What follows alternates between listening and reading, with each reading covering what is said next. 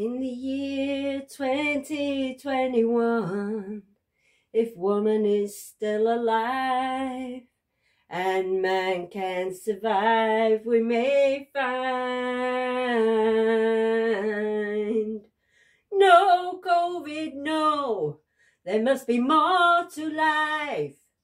There has to be a way we can recall to life